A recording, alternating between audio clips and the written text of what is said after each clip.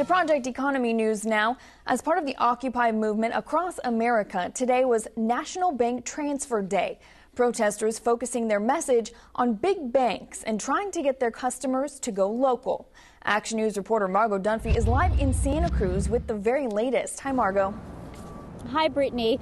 Well, just across the street here in Santa Cruz, the Occupy protesters remain camped out in San Lorenzo Park tonight. But earlier today, in some downtown banks, customers were staging a protest of their own.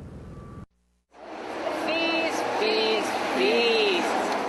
It was a performance to protest big banks in downtown Santa Cruz Saturday we decided that instead of merely doing a protest or holding signs, that we would perform street theater and combine humor. Part of the Occupy movement, the Tour de Bankruptcy performed in front of banks throughout the city to highlight National Bank Transfer Day. We're encouraging um, uh, customers of larger banks to, re- to take their money out and to put it in local credit unions.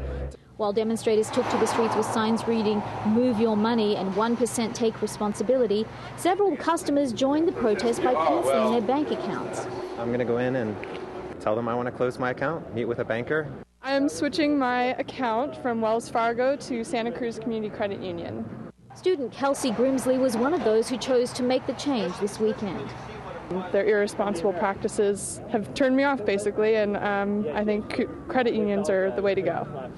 She moved her money to Santa Cruz Community Credit Union, who opened their doors Saturday to cope with the influx of new customers. People are coming in with checks from their local banks, um, Wells Fargo, you know, uh, Chase, um, large checks, moving money, ready to go. Um, said they're done. So it's really it's it's been amazing. And the people who are closing their accounts, as well as the demonstrators, say they want to send a message to these big banks to stop trying to make money off their customers by charging more fees and to start investing locally. Uh, the makeup of the whole credit union is completely different. Um, money that comes in here goes back to um, the members. Protesters hope their continuing action will have some impact in the financial world. I don't expect the banks to do as much uh, immediately, but I hope that it sparks um, an awareness of why we're doing it.